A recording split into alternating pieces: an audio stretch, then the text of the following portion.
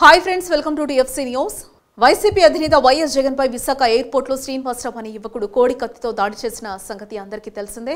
ఇప్పుడు ఈ ఘటన ఏపీ రాజకీయాల్లో సంచలనంగా మారిన టీడీపీ పార్టీ వైసీపీ పార్టీ నేతలు ఒకరిపై ఒకరు తీవ్రస్థాయిలో విమర్శలు చేసుకునేంత వరకు వెళ్ళింది. అసలు ఘటన వెనుక నిజాలు ఏంటి అనేది పోలీసులు ఇప్పటి వరకు పూర్తి స్థాయిలో తెలుసుకోలేకపోయారు. కానీ ఆ సంఘటనని బేస్ చేసుకుని రాజకీయంగా టీడీపీ వైసీపీ పార్టీలు ప్రజల్ని తప్పుదోవ పట్టించే ప్రయత్నం చేస్తున్నాయనే విషయం రాజకీయ వర్గాల్లో వినిపిస్తోంది. ఇదిలా ఉంటే తాజాగా ఈ సంఘటనపై సీనియర్ రాజకీయ నేత ఉండవల్లి అరుణ్ కుమార్ స్పందించారు.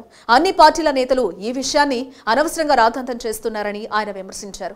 మాట్లాడుకోవడానికి రాష్ట్రంలో ఎన్నో సమస్యలుండగా వాటన్నింటినీ వదిలేసి ఈ దాడిపైనే విమర్శలు ప్రతి విమర్శలు చేసుకుంటున్నారని మండిపడ్డారు. రాజమండ్రిలో మీడియాతో మాట్లాడుతూ ఆయన ఈ వ్యాఖ్యలు చేశారు. జగన్ సభలకు జనాలు బాగా వస్తున్నారని ఈ పరిస్థితుల్లో తనపై తానే దాడి చేయించుకోవాల్సిన అవసరం జగన్కి లేదని ఉండవల్లన్నారు. జగన్కి ఏమైనా జరిగితే ఎలాంటి పరిస్థితులు తలెత్తుతాయో ముఖ్యమంత్రి చంద్రబాబుకు తెలుసునని కాబట్టి జగన్ హత్య చేయించే పని ఆయన ఏం చేయరని చెప్పారు. జగన్పై హత్యాయత్నం జరిగితే చంద్రబాబుకు ఆనందం ఎందుకుంటుందని ప్రశ్నించారు. కేసులో నిజాలను పోలీసులు తేలుస్తారని తెలిపారు. నిందితుడికి నార్కో అనాలసిస్ పరీక్ష చేస్తే వివరాలు బయటకొస్తాయని చెప్పారు.